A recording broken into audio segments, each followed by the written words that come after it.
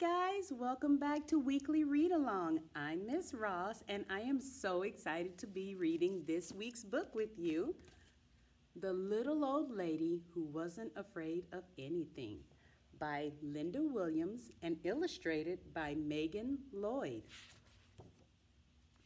The Little Old Lady Who Was Not Afraid of Anything. Once upon a time, there was a little old lady who was not afraid of anything. One windy afternoon, the little old lady left her cottage and went for a walk in the forest to collect herbs and spices, nuts and seeds. She walked so long and so far that it started to get dark. There was only a sliver of moon shining through the night. The little old lady started to walk home. Suddenly, she stopped. Right in the middle of the path were two big shoes, and the shoes went clomp, clomp.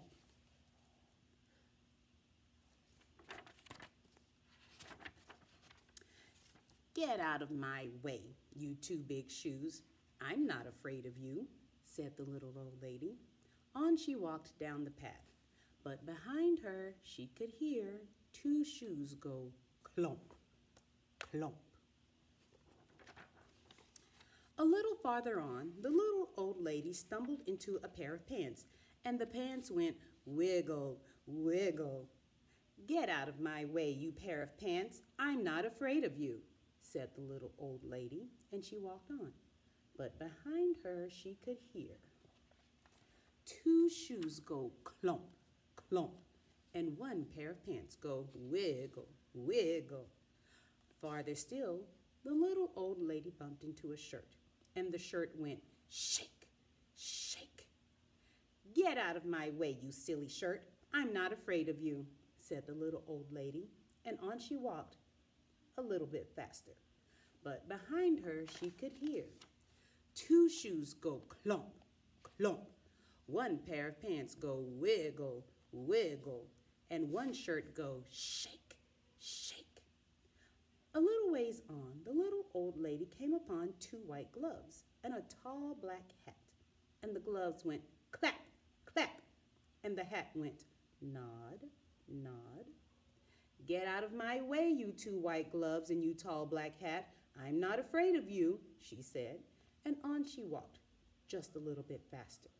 But behind her she could hear two shoes go clomp, clomp. One pair of pants go wiggle, wiggle. One shirt goes shake, shake. Two gloves go clap, clap. And one hat go nod, nod. By now, the little old lady was walking at quite a fast pace.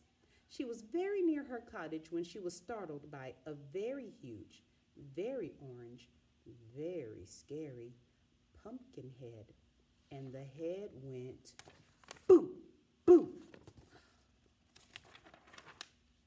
This time, the little old lady did not stop to talk. She did not stop at all. She ran. But behind her, she could hear two shoes go clump, clump. One pair of pants go wiggle, wiggle. One shirt go shake, shake. Two gloves go clap, clap. One hat go nod, nod. And one scary pumpkin head go boo, boo. The little old lady did not look back. She ran as fast as she could and didn't stop to catch her breath until she was safe inside her cottage with the door locked. She sat in her chair by the fire and she rocked and she rocked. It was so quiet in her cottage before the knock, knock on the door. Should she answer it? Well, she was not afraid of anything. So she went to the door and opened it. What do you think she saw? Two shoes go clump, clump. One pair of pants go wiggle, wiggle. One shirt go shake, shake. Two gloves go clap, clap. One hat go nod, nod. And one scary pumpkin head go boo, boo. I'm not afraid of you, said the little old lady bravely. What do you want anyway? We've come to scare you. You can't scare me, said the little old lady. Then what's to become of us? the pumpkin head said, looking suddenly very unhappy. I have an idea, said the little old lady. She whispered into the pumpkin's ear. The pumpkin head nodded, and its face seemed to brighten. The little old lady said good night, closed the door, and whistled on her way to bed.